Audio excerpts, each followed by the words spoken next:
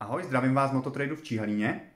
Dneska se podíváme na exkluzivní kousek a to je Kawasaki GPX 600.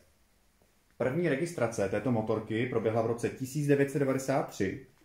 Výkon motorky je 62 kW a na je to má, troufám si říct, pouze 27 000 km.